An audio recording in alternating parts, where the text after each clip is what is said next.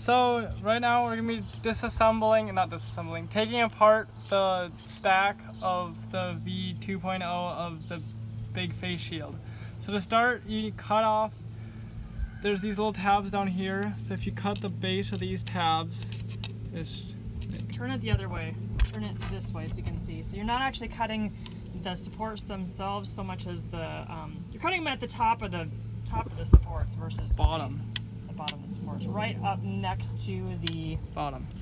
whatever that is, the the raft. So this So is the very first layer. and then just you can just break these. I mean that's not really easy, but whatever. And then so once you cut off the bottom, these just will break off. Just these just break like so, and that's and then just clip those a little bit if necessary. I'm not really sure how.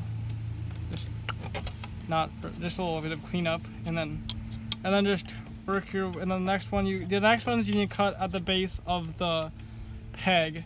So just like this, just clip those like that. And then the same here at the base of the peg. There.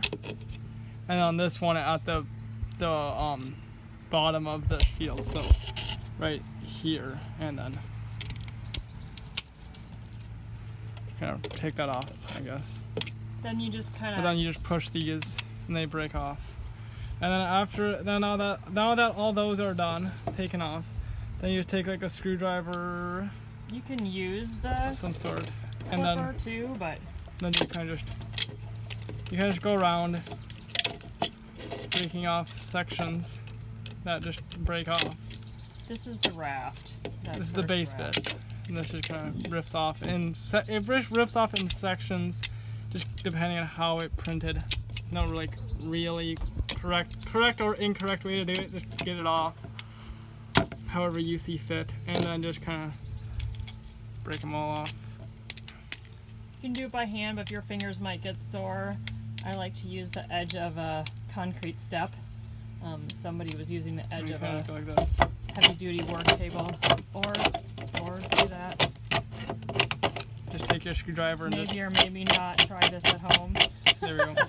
Now it just makes it a lot easier for the final clean it And then just and then if I mean that works, and then if you, there's any extra ones you want to clip off, or you just sand it all down, and then it will be just nice and flat. And then, so now that the base, the raft is gone, the raft is gone, then you just repeat the process, cutting the bases of the side. I mean the down here of the side ones.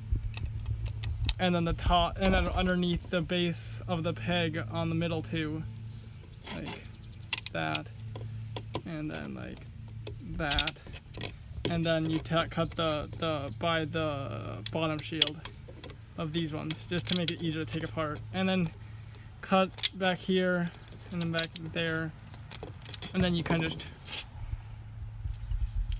eh, you can put your little tool in there and just rip them apart like so and then you just take off these however you want all the little tabs Split the next one too, just to show them Yeah. the middle one, just to do it again. and then so you cut the you cut the bases, you cut by the top of the shield of the co- corner one- yeah side ones.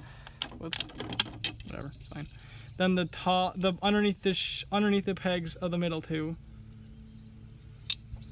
Without cutting the pegs, be yeah, don't cut advised, the pegs. or breaking anything.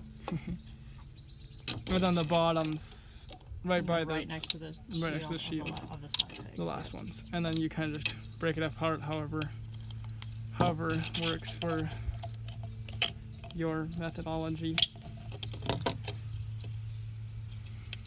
Uh, give break it, 'em. gi- Give it a couple of There we go. starts and then they come apart.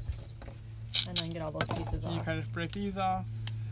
Boom, boom, boom, boom. So it helps the Bing, bang, volunteers bing, down down the line Boink, if boink. you can get those off. For sure, separate them because that shows you if your shields are separatable. That's why this stacking method is great.